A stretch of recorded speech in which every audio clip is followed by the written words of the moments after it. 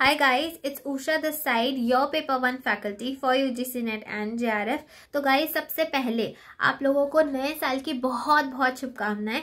Happy new year to you guys and guys अब नया साल है हमने नई शुरुआत की है. आज से हमारा नया बैच स्टार्ट हुआ है जिसमें हमने यूनिट नंबर वन स्टार्ट किया है दैट इज़ टीचिंग एप्टीट्यूड तो अगर आप भी आपके कॉन्सेप्ट्स को जो है पक्का करना चाहते हो कॉन्सेप्ट्स को सीखना चाहते हो और एग्जामिनेशन को क्लियर करना चाहते हो विद इन फिफ्टी डेज़ तो you guys can join me only at filler form अब नया साल है, नई शुरुआत करते हैं और लोग जो है नया साल बदलने की कोशिश करते हैं। हम यहाँ पर साल नहीं, हम हमारी लाइफ बदलेंगे। आज हम स्टूडेंट हैं आज हम एग्जामिनेशन दे रहे हैं और कुछ दो महीने, तीन महीने के बाद हम एक असिस्टेंट प्रोफेसर कहलाएँगे।